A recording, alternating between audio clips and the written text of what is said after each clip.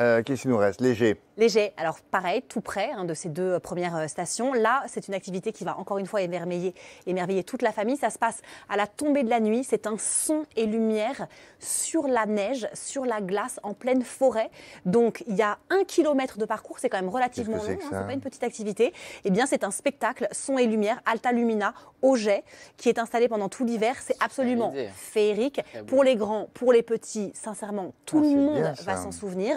Prévoyez à peu près une heure de, de- Et de ça, c'est une promenade. montgolfière Et effectivement, le, le son Oui. vient de la montgolfière. Donc vous avez vraiment, vous êtes pris dans un spectacle vivant. Ah ouais, euh, en joli. plein milieu des beau. sapins, euh, voilà. Donc c'est vraiment, ça change de, de- de- d'une du spectacle vraiment vivant.